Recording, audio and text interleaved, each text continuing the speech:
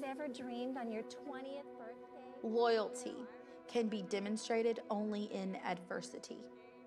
Think about that. Think about what that teaches. Teaches you that you have no way out. And no matter what they do, loyalty will shine through in adversity. How messed up is that?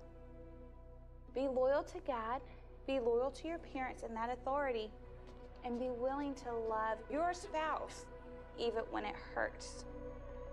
Do you any comment, Anna? Do you think 12 years is fair, Anna? This comes up with Anna Duggar a lot. Why can't she just leave?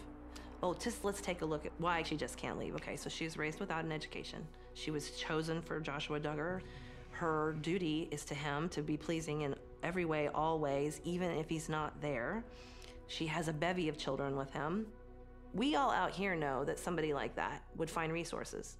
She'd have a book deal so fast, but she doesn't know that. She probably doesn't know the truth of her situation. Josh was my first love. He's my one and only. My only hope was to cling to my faith because I think in the stun and in the shock of everything, I was just praying, God, help, help me to know how to respond to all of this. Young, idealistic people can get tangled up in that stuff all of the time, as I know firsthand.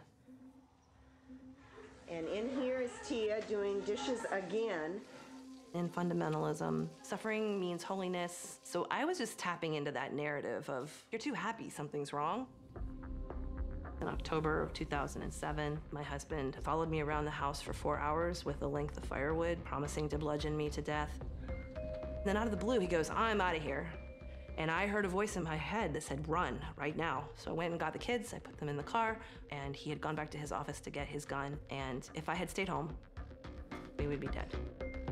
I escaped by the skin of my teeth, so I'm never gonna say it's easy.